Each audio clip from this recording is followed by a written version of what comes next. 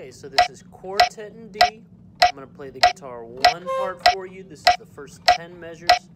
Then we'll go back, uh, I'll play through the whole 10 measures, and then I'll go back and break down the quicker parts.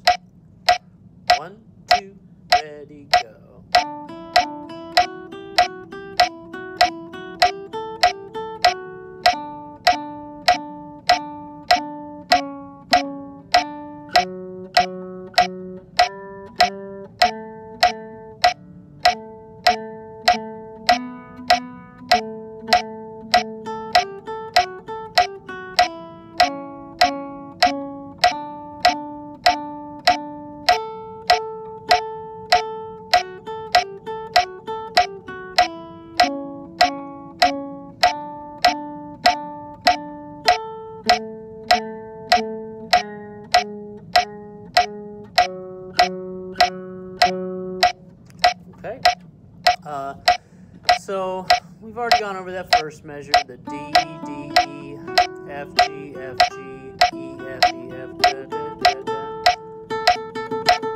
da. Um,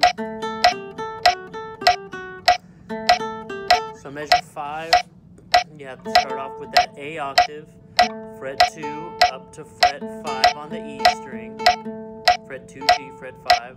That those gives you your two A's, and then you stay up here on string one, and you go, um, giving you fingers, four two four one four two four, four two four one four two four.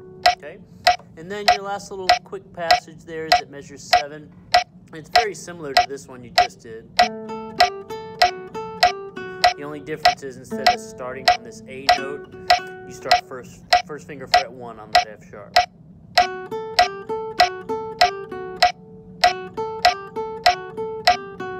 Okay. Uh, good luck.